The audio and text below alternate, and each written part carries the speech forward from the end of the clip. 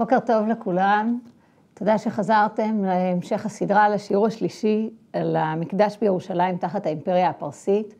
אה, נזכיר שבשני השיעורים הראשונים שבהם עסקנו בנושא, בשיעור הראשון עסקנו בעצם בהצהרת כורש, הבנו את ההקשר ההיסטורי שהוא בעצם היה ההקשר שבתוכו, מתוכו יכלו יהודים שגלו לבבל, או הצאצאים שלהם, לחזור לארץ ישראל ולבנות את המקדש בארץ. ובשיעור השני בעצם הגענו עד לשלב של בניית המקדש, ראינו שעברו בערך 20 שנה, הנה אפשר לראות את זה פה, היינו בהתחלה בהצהרת כורש, והגענו עד לשנת 516, שבעצם אה, המקדש הושלם, ושאלנו אה, איך מתמודדים עם האמביוולנטיות הזאת, עם זה שהמקדש בעצם היה קטן, מאכזב, לא היה לו את הפאר שהיה במקדש שלמה, לא היה כסף, לא היה זהב, לא היו המונים שהגיעו, לא הייתה הוקרה בינלאומית, לא במלך, לא, כמו שהכירו בשלמה, וגם לא באלוהי ישראל. וראינו, אה, כדי להבין את כל ההקשר ההיסטורי הזה, גם שתי כתובות. בשיעור הראשון ראינו את גליל כורש, בשיעור השני ראינו את כתובת בהיסטון, ובעצם ראינו מחנה משותף מאוד משמעותי בשתי הכתובות. וזה שגם כורש ומאוחר יותר דריווש, כשהם מאפשרים פה ליהודים לבנות את בית המקדש, מה שהם בעצם עושים זה איזושהי אה, צורת מנהל.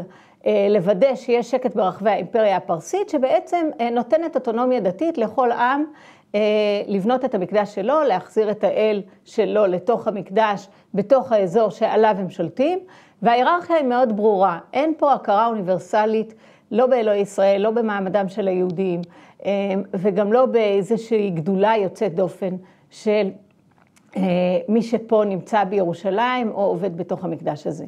ממילא הבנו את האמביוולנטיות של כל מי שנמצא פה, את האכזבה, את התחושה שמה שהבטיחו הנביאים, או מה שלפחות עולה בפשטות מתוך הדברים של אה, ישעיהו, של ירמיהו, של יחזקאל, אה, באשר לעתיד של העם, לאיזו הכרה בינלאומית בבית המקדש בירושלים, זה לא קורה.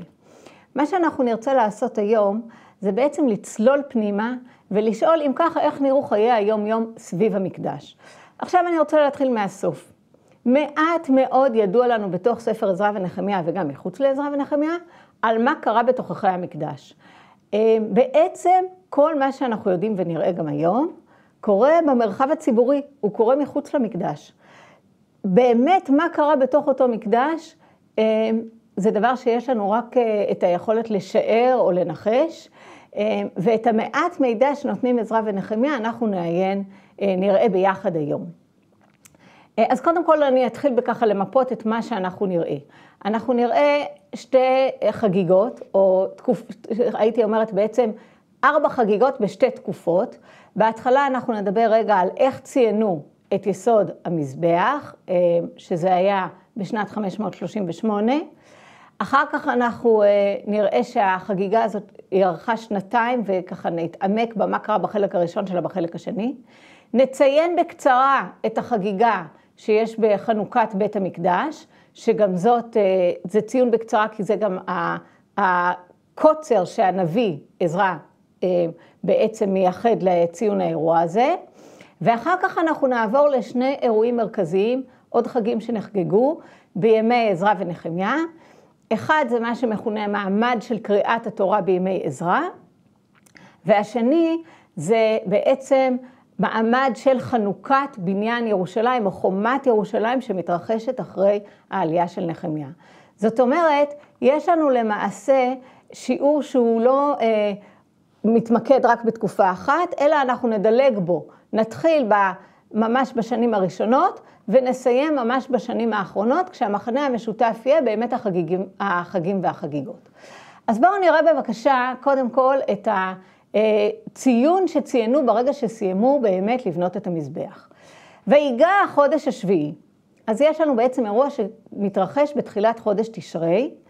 אנחנו לא יודעים בדיוק באיזה שנה הוא התרחש, והשאלות הכרונולוגיות פה שנויות במחלוקת, אבל מבחינתנו מדובר בגל העולים הראשון, שמנהיג אותו יהושע אה, וזרובבל, וגם יחד עם ששבצר, ולא ניכנס לפרטים של איזה שנה זה היה בדיוק, זה היה ממש בשנים הראשונות שאחרי הצהרת כורש.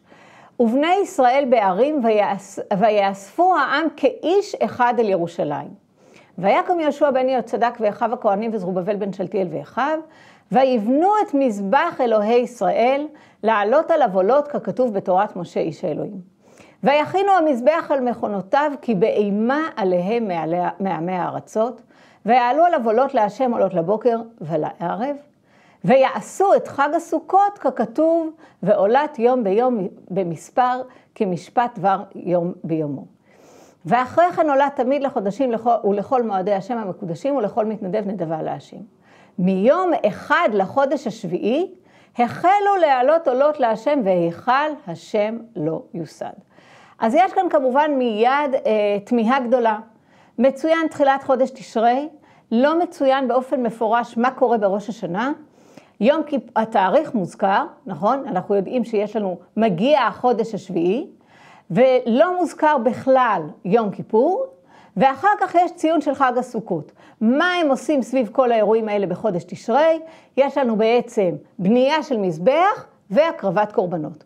כמו שאמרתי בהתחלה, אנחנו לא יודעים בעצם מה קורה בתוך המקדש, אנחנו, או בשטח המקודש כולו.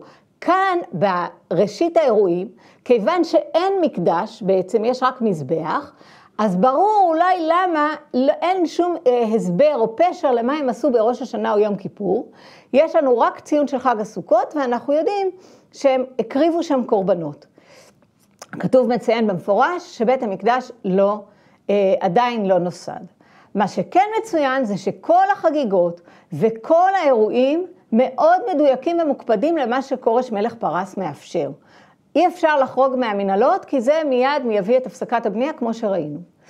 ובשנה השנית, ושוב אמרתי, אני לא יודעת בדיוק מה הכרונולוגיה, אם זה כמה חודשים אחר כך, כי בעצם זה היה חודש תשרי, ואנחנו מדברים מיד שנה, בשנה אחר כך, אבל יש לנו בחודש השני, לבואם אל בית האלוהים לירושלים, החלו זרובבל בן שלתיאל ויהושע בן יהוצדק ושאר החיים הכהנים והלווים וכל הבאים מהשבי ירושלים, ויעמידו את הלווים מבין עשרים שנה ומעלה לנצח על מלאכת בית השם. אז הנה שוב אנחנו שומעים שמנצחים על מלאכת בית השם.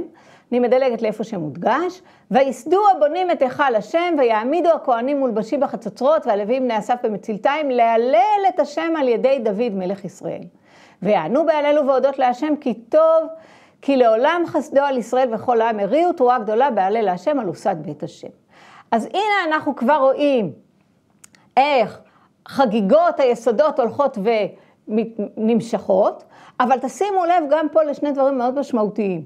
אחד, שאנחנו לא יודעים בכלל, שוב, מה קרה בתוך המקדש, או בתוך השטח המקודש, אנחנו גם רואים פה רק תיאור, תיאורים של הכוהנים מולבשים, של הלוויים שחוגגים, של שירת שבח והודאה לקדוש ברוך הוא, אה, והנה הפסוקים האחרונים, ראינו אותם גם אתמול, גם שלשום, שמבטאים את האמביוולנטיות הזאת של מי שרואה מצד אחד את החגיגות ואופטימי לקראת בניית הבית, ומי שמתאכזב כי הוא רואה שהבית יהיה הרבה יותר קטן.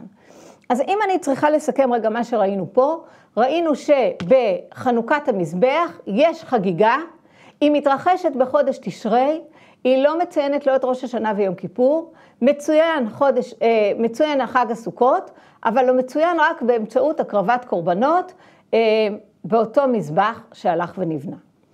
האירוע הבא שמצוין בספר עזרא, והוא מצוין רק בפרקים הארמיים בספר עזרא, והוא מצוין מאוד בקצרה, זה בעצם האירוע שקורה בשנת 516, אחרי שהמקדש כולו הסתיימה הבנייה שלו, זאת אומרת, אם התחלנו ב-538 או 537 או 6, אז עברנו עכשיו כמעט 20 שנה קדימה, סיימו את בניין המקדש, והרגע הזה שבו אנחנו מצפים אולי לחגיגה הכי מפוארת והכי גדולה, במיוחד מי שמכיר את החגיגות שעשה שלמה, שמופיעות גם במלכים וגם בדברי הימים, מאוד התאכזב. הוא יצטרך לחפש את התיאור רק בקבוצת פסוקים קטנה, אני אקרוא ישר את העברית, את התרגום מקוצר הזמן.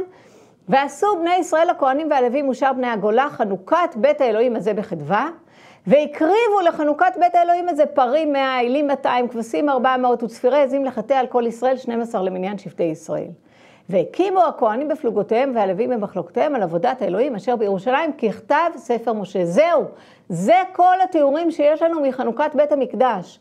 הייתי אומרת שהעיקר חסר מן הספר, הצמצום פה מאוד ברור, אני כן רוצה לצמצם, לציין נקודה אחת שבעיניי היא מעניינת, וזה שהם מציינים פה את 12 שבטי ישראל, אני מזכירה שגלו עשרת השבטים כבר ב-722, הם כבר הרבה שנים לא נמצאים אה, עם העם ביהודה, ויש ככה אזכור לזה שהם עדיין זוכרים את עצמם כחלק מ-12, זה מעניין. אה, אולי אפשר גם לציין שתשימו לב שיש פה בעצם רק קורבנות מן החי, אין פה בכלל קורבנות מן הצומח, זה היה נכון גם לחגיגות בחנוכת המזבח, ומי שזוכר את הפרקים שראינו אתמול בספר חגי, אה, זוכר שהייתה בצורת מאוד מאוד קשה, ובעצם גידולי בהמות אה, גדלים באופן הרבה יותר משמעותי על חשבון גידולי קרקע כשיש בצורת, זה ברור. אין כאן גפן, אין כאן שמן, אין כאן חיטה, אין נסכים, אין מנחות, כל מה שאפשר היה אולי לצפות שיופיע בחגיגות כאלה לא מופיע, אולי זה מקרי, אני חושבת שזה לא מקרי, אני חושבת שזה באמת ביטוי לבצורת הקשה שליוותה אותם אה, בשנים האלה, וגידולי קרקע הם מתאימים באמת רק בתקופות אה, שאין בצורת, וכשיש בצורת, אז כל מה שאפשר בעצם להקריב זה בהמות. אני גם מזכירה שראינו שהשבים חזרו עם אה, כסף זהב, אבל גם עם הרבה בהמות, ואולי אנחנו רואים לזה קצת עדות כאן. על כל פנים, חנוכת הבית הזאת, בעיקר מה שיש בה זה מה שאין בה. אין בה איזה ציון אה, ככה חגיגי, משמעותי, לסיום חנוכת הבית.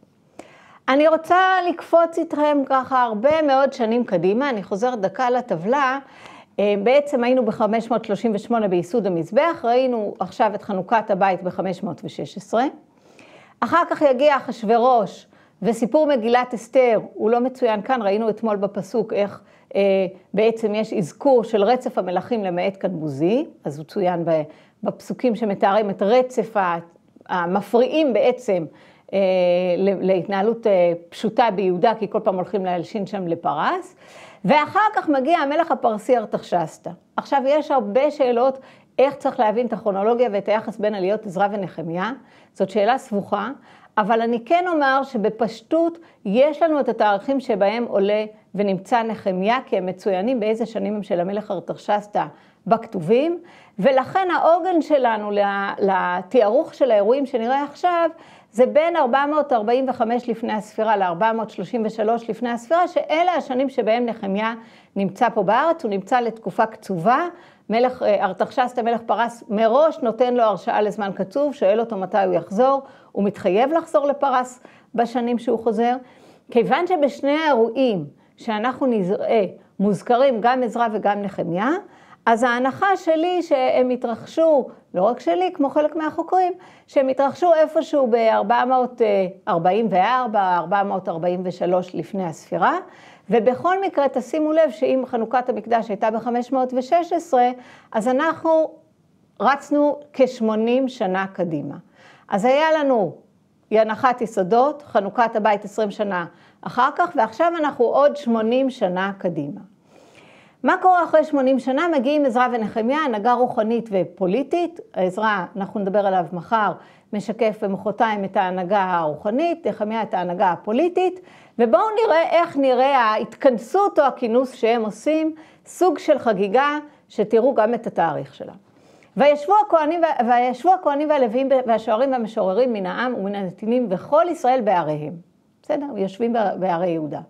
ויגע החודש השביעי. זוכרים? היינו כבר בתחילת החודש השביעי. ובני ישראל בעריהם. ויאספו כל העם כאיש אחד אל הרחוב אשר לפני שער המים.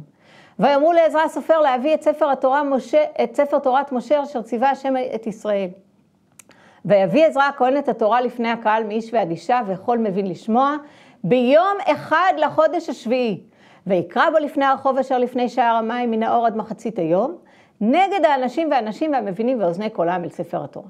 אז קודם כל שימו לב, שוב אנחנו בראשון בתשרי, ושוב אין שום אזכור לראש השנה, חוץ מהתאריך כמובן, אבל לא לאירועים שאנחנו מכירים, או שהיינו אולי מצפים שיקרו במקדש בראש השנה.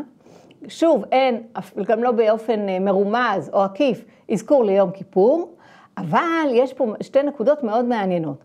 אחת, זה לא יוזמה של המנהיגות, מי מבקש להביא את ספר התורה, מבקש להביא את ספר התורה העם, תשימו לב, ויאמרו לעזרא הסופר להביא את ספר התורה.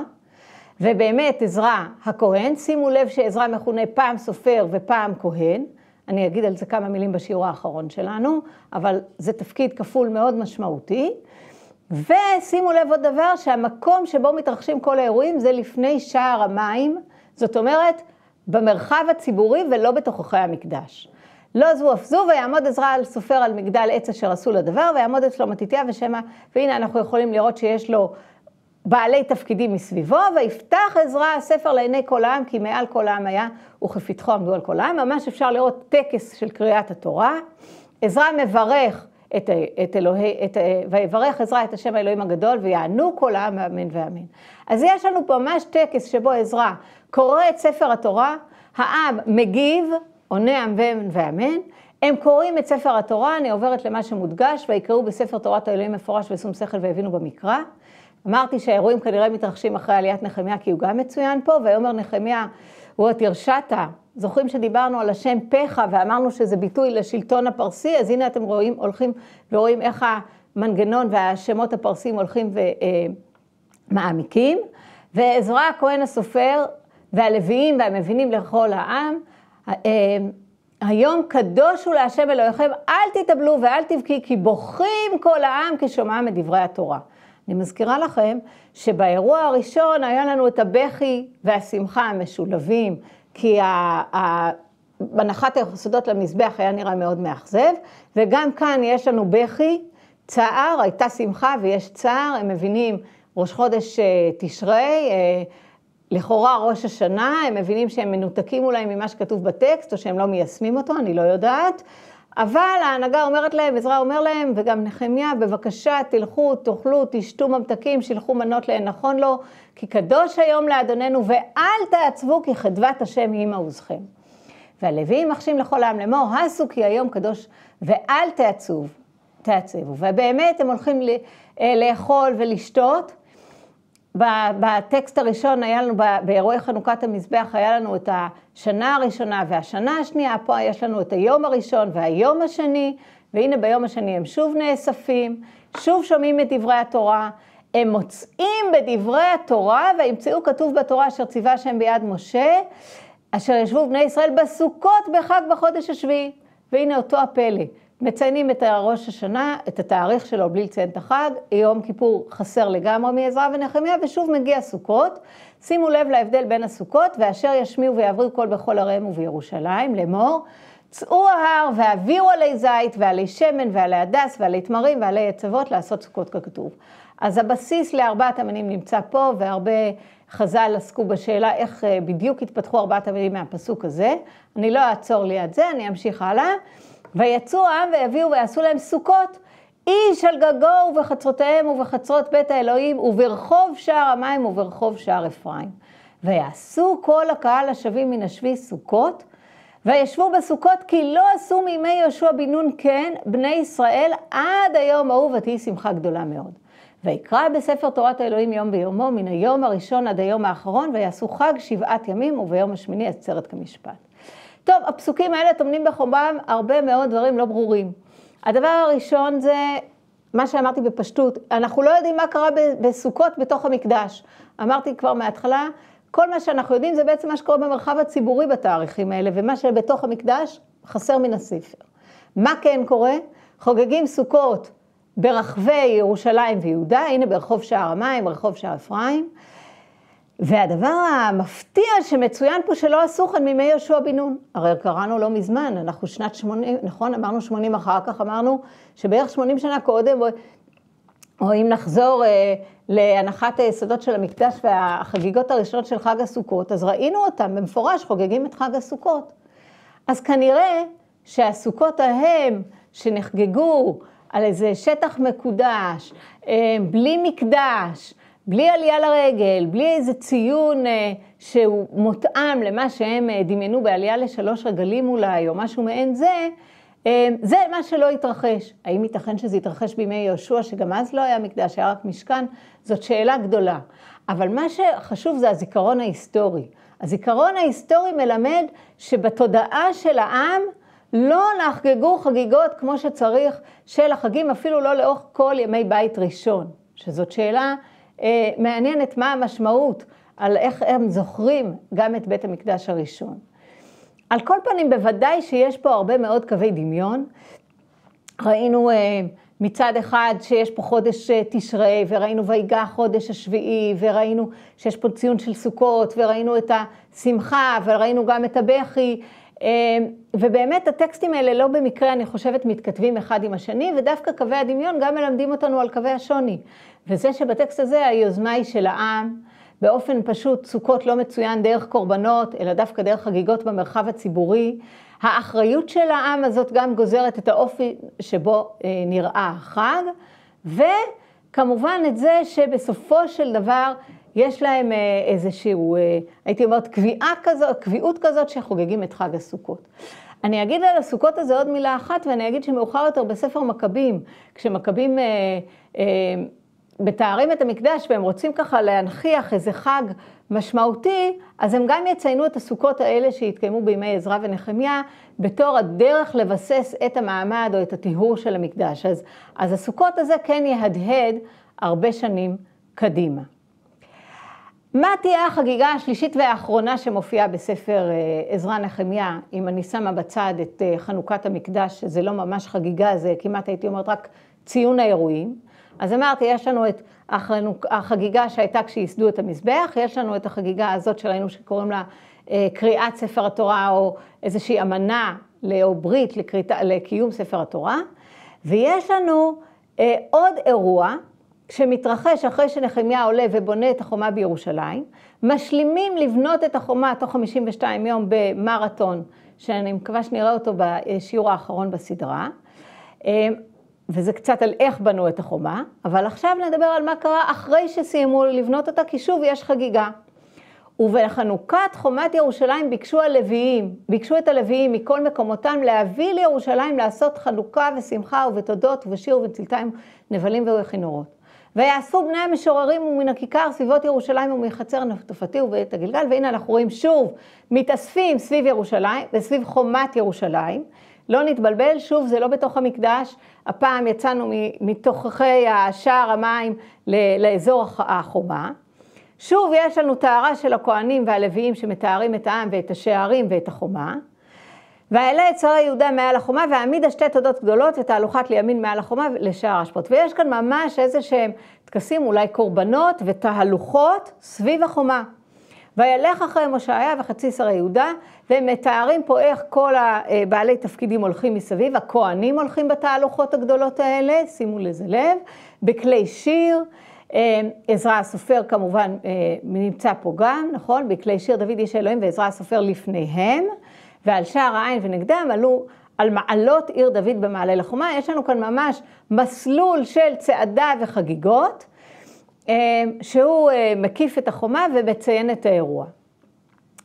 ויש לנו בעצם אה, תיאור שכולל את הקורבנות, וגם אחר כך את המשמרות הטהרה, ואיך בעצם יוצרים איזה שהם, הייתי אומרת, תפקידים קבועים של, של משוררים, מנגנים, כהנים ולוויים, שכולם בעצם, התפקיד שלהם זה לשמור על השטח המקודש וגם על החומה בטהרה.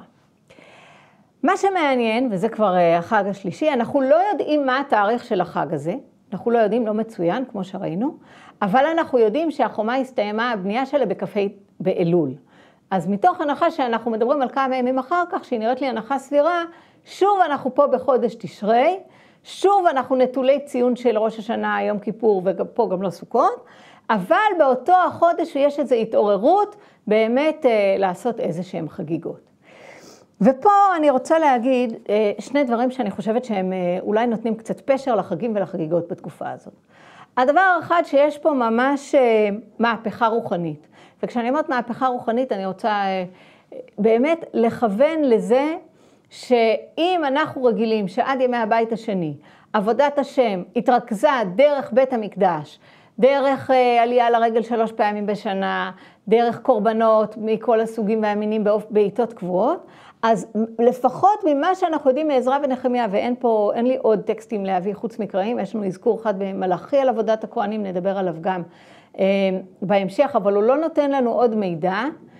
אנחנו בעצם רואים שבימי הבית השני המרכז הוא לא נמצא בתוך המקדש, אלא הוא במרחב הציבורי, והאחריות נלקחת מבעלי התפקידים שעושים אותו בתוך אה, מקדש סגור מכל, מכל פגע או מכל משמר, אולי יש כאן חשש או פחד שהוא יטמם חדש, או אולי פשוט אין בתוכו שום דבר מספיק משמעותי, אני לא יודעת, אבל האירועים והחגיגות כולם מתרחשים במרחב הציבורי. הדבר השני שאני רוצה להציע, והוא קשור לחגיגות האקיטו. אני אגיד על זה רגע שתי מילים. חגיגות האקיטו אלה בעצם חגיגות שמוכרות הרבה מאוד שנים באימפריה הבבלית, והן מתרחשות בדרך כלל פעמיים בשנה בחגיגה, בתחילת חודש תשרי ובתחילת חודש ניסן. מה אנחנו יודעים על חגיגות האקיטו? חגיגות האקיטו אלה בעצם אירועים שהתרחשו ברחבי האימפריה הבבלית והמשיכו גם בתקופת האימפריה הפרסית. סביב המקדש המרכזי של האל מרדוק, אבל לא רק, הם נחגגו בכל המקדשים הפריפריאליים גם, והם נחגגו באמצעות תהלוכות, לכן אה, התמונה שאתם רואים לפניכם, של יציאה מתוך המקדשים, אה, היה להם איזשהו בסיס קבוע, יוצאים עם האלים, עם כל בעלי התפקידים, כל הכוהנים, שרים, אה, אחרי טקס טהרה משמעותי, הולכים לבית האקיטו, זה בית מחוץ לעיר, הכרה במעמדו של האל וממילא במעמדו של המלך שהוא נציגו, וחזרה למקדש. התהלוכות האלה ידועות, אנחנו מכירים אותן מטקסטים, מאוחרים יותר מהתקופה ההלניסטית, אבל הם מתוארים אה, ככה לאורך כל ימי האימפריה הבבלית וגם הפרסית, והם בעצם היה חלק מהדרך שבה במרחב הציבורי, בכל האזורים שבהם שלטה האימפריה, סביב כל המקדשים, גם הפריפריאליים, יש הוקרה במעמד של האל שבזכותו שולט המלך אה, על האימפריה. אני רוצה להציע בזהירות שאולי זה לא במקרה שגם ביהודה יש חגיגות בדיוק באותם תאריכים, באותו החודש השביעי, ושהם אה, מקפידים לעשות אותם בצורה מאוד מאוד חגיגית במרחב הציבורי. אני לא יודעת אם זה אלטרנטיבה לחגיגות העתיקיתו כדי לדחוק הצידה את אה, האלטרנטיבות הפולחניות והריטואליות שמביאה איתה האימפריה הפרסית והביאה איתה קודם האימפריה הבבלית, או שבאמת בגלל שכבר יש הרשעה של כורש בימים האלה, ואחר כך מאוחר יותר גם של דריווש וגם של ארתחשסתא, בימים האלה לחגוג במרחב הציבורי, אין איזה איום שזה מתפרש כמרד, כמו שראינו שכל דבר אחר עלול להתפרש, אז בעצם יש כאן אפשרות שהיא לא נגד ההרשעה, והיא לא חורגת מהאוטונומיה הדתית שניתנת לכל אחת מהעמים או מהמדינות שתחת השליטה של האימפריה המרכזית, להסתובב ברחבי, ברחבי הערים ובעצם להוקיר את האל או את האל המקומי או את האל המקודש. על כל פנים, בין אם ההשערה הזאת נכונה או לא, זה מעניין שהחגיגות ביהודה באותם החודשים, בחודש השביעי, הן בעלות הרבה מאוד מאפיינים דומים דווקא לאלה שאנחנו מכירים מחג, מחג האקיטו, והן שונות באופן מהותי מכל מה שאנחנו מכירים בתורה, אה, ממה שבדרך כלל נאמר על אה, פסח, שבועות וסוכות, או על ראש השנה ויום כיפור. זאת אומרת, האלמנטים המשותפים של טיהור המקדש והחומות, של צעדות ברחבי האימפריה, של בעלי תפקידים ששרים אמ, שירי שבח והודאה לאלים. אמ, כל זה מאפיין את האקיטו וגם מתאים למה שאנחנו רואים פה בכל החגיגות. אז מה אני יכולה בעצם לסכם ולהגיד על השיעור הזה שהקדשנו אותו לחגים וחגיגות ויהודה? קודם כל, שבימי עזרא ונחמיה כל האירועים הם לא מאפיינים את מה שאנחנו בדרך כלל היינו מצפים לראות. אין לנו אה, אזכור של יום כיפור בכלל, התאריך של ראש השנה מופיע, בלי להגיד לנו שום דבר על זה שמדובר באיזשהו יום תרועה או משהו מעין הטקסטים המקראיים. סוכות מופיע פעם ראשונה כחג שמקריבים בקורבנות, פעם שנייה כחג שיש בו משהו שהוא דומה לארבעת המינים ולסוכות שנעשים במרחב הציבורי. פסח מופיע פעם אחת, כמובן ששבועות אין לנו שום אזכור. ולעומת זאת יש לנו אה, חגיגות אחרות שאנחנו יכולים לראות שככל שעובר הזמן נעשים ביוזמת העם, באחריות העם, בעלי התפקידים, עזרא ונחמיה משרתים אה, או מגיבים וגם מנהיגים למה שהעם מבקש ומנחים אותם לשמוח ולא לבכות סביב האירועים האלה. זה מה שראינו היום. אני אסיים בשני דברים קצרים, אחד ולהגיד כמובן תודה רבה לצוות הנפלא שמלווה אותנו פה, זה עידו ובר, חגי, תום וגם יאיר שהצטרף היום, אז תודה על העבודה המקסימה שאתם עושים והליווי של כל הבקרים שלנו בסדר בוקר. ואני גם אגיד מה נעשה מחר ומחרתיים, בעזרת השם. אז מחר אנחנו מתוכננים לדבר על הזהות של אלה שבחרו להישאר בבבל, הזהות של מי שעולה לירושלים והזהות קצת של מי שנמצא במצרים, כמו שאנחנו יודעים מירמיהו ומייב. אז זה דבר אחד שנעשה מחר, ומחרתיים באמת אנחנו נדבר יותר על עזרא ונחמיה ועל המנהיגות שלהם, במה היא התאפיינה, מה, איזה שינויים הם הובילו. זהו, נראה לי הגיע הזמן לעבור לשאלות, אז אני מסתכלת על מה שיש לנו כאן. מה, נילי שואלת מה המשמעות של שליחת מנות, התשובה היא שאין לי מושג, את יכולה לנחש כמוני, אני מניחה שיש פה איזושהי דרך חברתית לתקשר, שבאמת אחר כך באה לידי ביטוי כמו שאנחנו מכירים אותה בפורים, אבל יותר מזה אני לא ממש יודעת להגיד. עוזי שאומר שיש לנו מסורת ישראלית במגילת אסתר, מרדכי היה איש בנימין מבית קיש, האם יכול להיות שגם בספר עזרא מופיעה מסורת דומה? טוב, אז יש לנו עזרא הוא מיוחס אחורה עד משפחתו של אהרון הכהן, אז יש לנו בוודאי שושלות יחוסין. אנחנו נדבר על זה מחר. אחד הדברים שהם הכי שכיחים בספרי עזרא ונחמיה זה רשימות כרונולוגיות, כמעט הייתי אומרת לעייפה, וננסה לתת להם קצת פשע ומשמעות, ואז אנחנו גם נדבר על, על הכרונולוגיות והגנאולוגיות ומה אפשר ללמוד מהם, נראה שהרבה. מישל שואל, אילו מנהגים הקשורים לעבודת קודש במקדש הביאו עמם היהודים מדתות בבל ופרס? וואו, שאלה שאני עמלה עליה באופן אישי הרבה מאוד. מי שמכיר את המחקר שלי יודע שכתבתי על ספר על ההשפעות של מה שאני חושבת, הדת הבבלית על המקדש ביחזקאל, ובימים אלה אני שואלת את אותה שאלה על פרס והתקופה הפרסית. אני לא יודעת, אבל אני כן חושבת שמה שהצעתי היום זה דוגמה לזה שבוודאי ששווי בבל הכירו היטב את הדת או הדתות של הבבלים ושל הפרסים. אני חושבת שהם לכל הפחות היה להם איזה, אתם יודעים, הייתה שנה שגררנו בארצות הברית ואני זוכרת שכשהגיע חג המולד, אז אי אפשר היה שלא להרגיש את חג המולד באוויר בכל בית שהסתובבנו בו ברחובות, פתאום הבנתי את המשמעות של לחיות באזור אחר, וגם מי שמגיע לארץ מחוץ לארץ ופתאום קולט מה זה יום שישי, מרגיש שיום שישי ושבת הגיעו. אז אני חושבת שבדיוק אותו דבר קרה לגולים לבבל. זאת אומרת, הם בבת אחת חיו עמוק בתוך התרבות הבבלית הפרסית, וממילא כל, הם, הם הגיבו לה, אימצו אותה, השתמשו בה בכל מיני צורות, בכל מיני דרכים, שאנחנו רק יכולים לנחש אותם. אבל נראה לי שלפחות מבחינה תיאולוגית יש כאן איזושהי התמודדות, ומה שהצעתי היום זה בעצם סוג של מענה, לפחות למרכיב אחד שלה, וזה חגיגות העקיתו, שהיו אולי החלק הכי דומיננטי בפרהסיה הציבורית של הדת הבבלית ואחר כך הפרסית.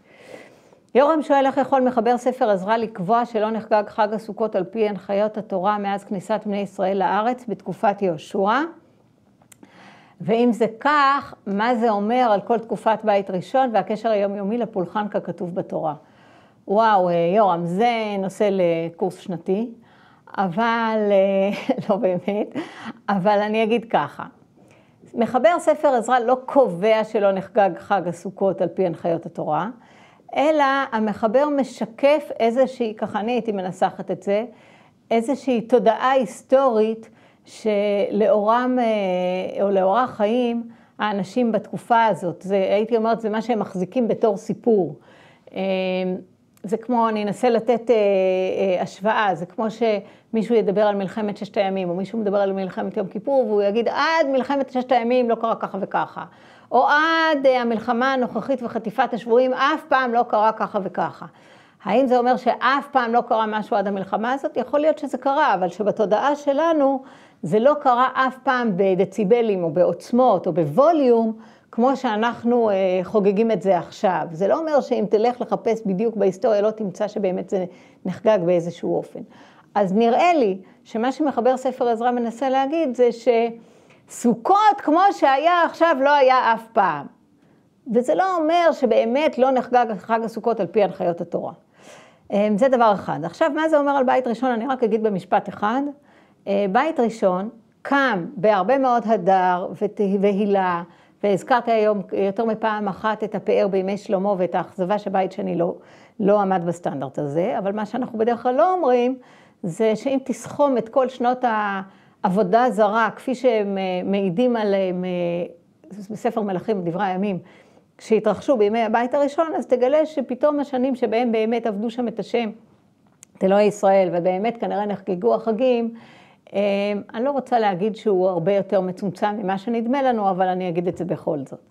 אז על פני כל 400 השנה של הבית הראשון, תורידו את כל השנים שהנביאים מספרים לנו שעבדו עבודה זרה במקדש, ולא צריך להגיע עד ימי אחז בשביל זה, אפשר גם סתם, אה, אפילו בלי עבודה זרה, רק גם עבודת בעלים, לגלות שאנחנו לא באיזה מציאות אוטופית, גם לאורך הרבה מאוד שנים בבית ראשון. אולי בימי יאשיהו וחזקיהו, וגם שם לכל אחד יש איזה כוכבי. אורי שואל, אה, איך התנהלו למעשה חיי הדת היהודית בתקופה שבין חורבן הבית הראשון לבניית הבית השני? איך השתמרו המסורות השונות של הפולחן הציבורי והפרטי כשלא היה ממסד הרבני החז"לי? טוב, עוד שאלה מאוד uh, ככה כבדה, אבל טובה. איך התנהלו למעשה חיי הדת היהודית בתקופה שבין חורבן הבית הראשון והשני, אנחנו לא יודעים. אני התייחסתי לזה כשציינתי, uh, שלשום כמדומני, שהמשיכו להביא, לפחות כך נראה, מירמיהו, שהם ממשיכים להביא מנחה ולבונה אה, למזבח בלי שיש מקדש. ומי שמעיין שם בפסוקים, אמנם רצח גדליה קרה כנראה ממש סמוך ליום, יום, יומיים קודם, אבל מי שמביא את זה לא יודע שהוא נרצח. ובעצם מה שמש... אבל כנראה בטוח, לי ברור שהוא יודע שכבר נחרב בית המקדש, ולכן... אה, נראה לי שמה שמשתמע זה שלפחות הייתה תקופה מסוימת שהקריבו קורבנות על מזבח באזור השטח המקודש גם בלי שהמקדש קיים. אה, מעבר לזה אנחנו ממש לא יודעים האם ומה הם קיימו, זאת שאלה. אה, מה שעוד אני יכולה להגיד זה שברגע שיהודים שומרים על הזהות הנבדלת שלהם בבבל, והם עושים את זה, נראה את זה מחר, אה, הם בעצם לומדים לחגוג חגיגות וחגים שכבר לא תלויים בכלל בבית המקדש. זאת אומרת, כל החגים והחגיגות שלהם נעשים אה, באיזשהו אופן אחר, אם בכלל, שלא תלוי אה, בבית המקדש, אולי דווקא המהפכה הרוחנית שאנחנו ראינו אותה היום, ש... שבעצם בהרבה מובנים מוציאה את החגים מתוך בית המקדש, השטח המקודש, לרחבי המרחב הציבורי, כמו שראינו בסוכות, אולי זה סוג של... של אה, מענה למה שקרה אחרי שנבנה הבית השני. אבל מה קרה עד שנבנה הבית השני, אני לא יודעת. אה, איך השתמרו המסורות השונות של הפולחן כשלא היה ממסד הרבני החז"לי? אני לא בטוחה שהם השתמרו, זה קודם כל. אה, וב' אנחנו לא באמת יודעים. אני כן יכולה להגיד שאני חושבת שאחד הדברים שמאוד ככה מאכזבים כשמחפשים את התשובות לספר, לשאלות האלה בספר עזרא ונחמיה, או בחגי זכר המלאכי, לצורך העניין זה אותו דבר, אז זה בעצם מאוד מאכזב, שהנביאים בחרו לעלות על הכתב כל כך הרבה פרטים, במיוחד שושלות יחוסין אה, מייגעות אה, למכביר, ולא חשבו לספר לנו האם הם בכלל חגגו איזה שהם חגים, או כמו שאתה שואל, המסורות, מה, מה, משהו על המסורות השונות של הפולחן. אני אגיד ככה, מה שאמרתי קודם, שאני לא בטוחה שהם באמת יתקיימו. זה יכול להיות שהזהות היהודית שלהם בעצם השתמרה בלי, בלי הרבה מהחגיגות האלה. אה, ואולי אפשר באמת אה, ללמוד מזה שהכתובים אומרים לנו שלא התקיים. אה, חג הסוכות מאז ועד עכשיו, ככה כאיזה רמז לזה שאולי לא רק חג הסוכות לא התקיים. ואולי זה גם נותן מענה לשאלה למה לא צועק, הם לא צועקים מים מראש השנה ויום כיפור. זהו, אז נראה לי שבזה עניתי לכל השאלות שאני רואה כאן כרגע. אמ, תודה רבה שהייתם איתי, שוב תודה לצוות של בית אביחי, ומחר אנחנו נעשה אה, עבודה על השמות של הגולים והשבים, ונראה מה אפשר ללמוד משמות. תודה רבה.